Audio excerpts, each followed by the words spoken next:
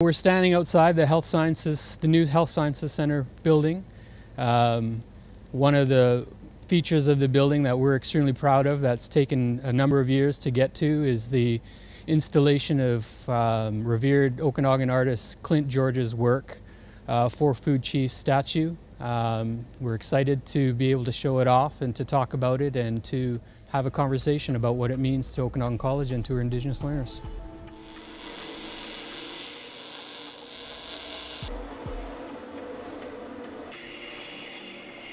My name's Clint George. Uh, my traditional name is Wapapaquin, uh, meaning lynx.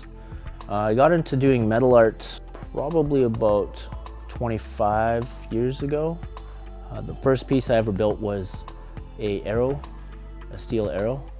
I kept building more products like that, more arrows, more spears. Then eventually grew into war shields, steel war shields, steel feathers, images and eventually it just uh, grew into what it is today. How it starts usually is some of my buyers will will give me an idea what they want or maybe in the area, significant to the area. Do my homework if I have to, um, if I'm unfamiliar with the area or the traditions or cultures.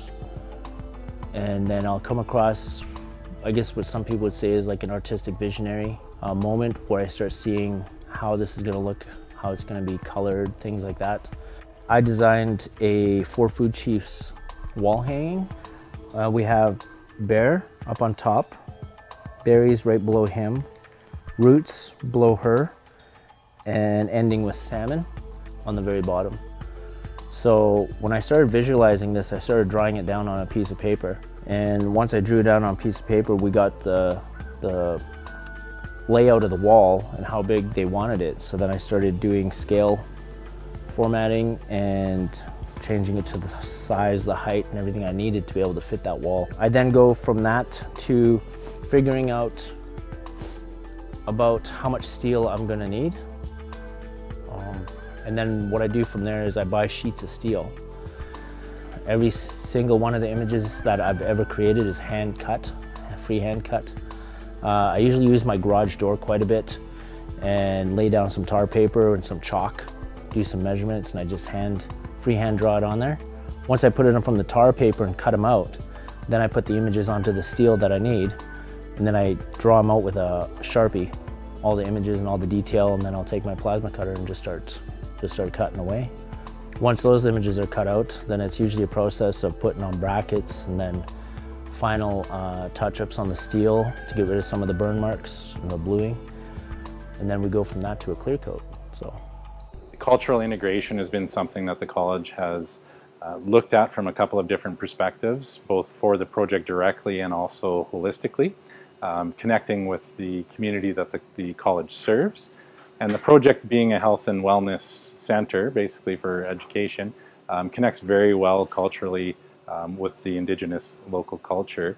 College really challenged and championed an idea of broader health uh, and pushed us to think about the health of the building and the well-being of the occupants inside. And that led us to a building and looking at sustainable initiatives like well certification, as well as the net zero carbon standards, but also an, a broader, even broader understanding that looked at indigenization and inclusion as part of our project. And so the project did undergo extensive consultation with the Westbank First Nation, which helped to galvanize our design thinking around notions of weaving. You can see that in the clerestory mass timber uh, structure, as well as in the kind of tonal qualities of the exterior cladding, which references a kind of warp and weft of a, of a fabric.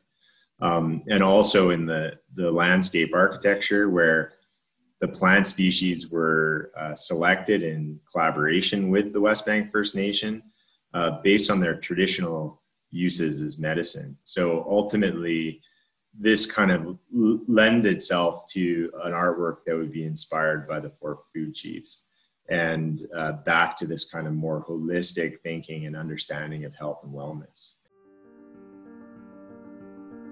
We were invited by the project management team at Faction to think about how we could indigenize that space.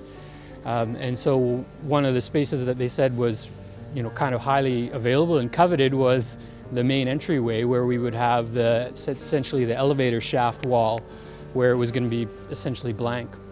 And so that's when we started discussing, well, what would a piece of art in that place look like?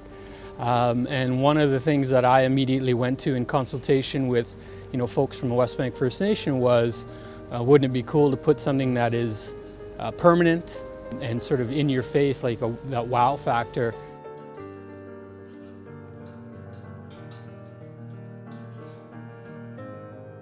So when I had the opportunity to build a structure or a sculpture for the college, especially in Kelowna, um, one of the most important stories we have is about our four food chiefs because through those stories, the four food chiefs were like the ones who, in our stories, would have created us and who we are today. So each one of them has a significant story which, which stretches on many, many years. And as each one has progressed in our stories, they gradually had created who we are today to be able to take care of the land and everything. So it's, it's one of our main stories in our culture and tradition. And I think it's very important that when these images go up and any of the four food chiefs images go anywhere in the Okanagan or practically anywhere at all, that, it, that you give it an image that people are going to ask questions about. And in that case, it helps teach people on who we are and where we came from. The significance behind it is that each, each food chief uh, takes care of a certain part of the land. So the bear would take care of the four-leggeds. The salmon takes care of the water and all the fish and everything in the water. Uh, which is roots, uh, she takes care of everything that's in the ground and, and that has all the roots. Uh, Sia, she's the berry. She's the one that uh, takes care of anything that's um, fruitful and that's, that's like medicines and, and foods and anything like that that we would be taking and eating from. So long story short, each one of them would give a, each piece of them to one thing. The bear is one of our most significant chiefs because he's the one that actually gave his life up to create life for us. And that's where the four food chiefs creates who we are.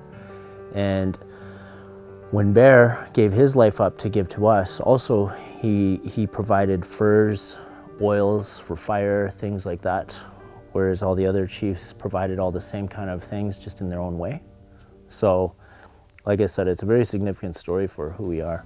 But we want our Indigenous students and our non-Indigenous students to go, oh, okay, wow, that's really cool.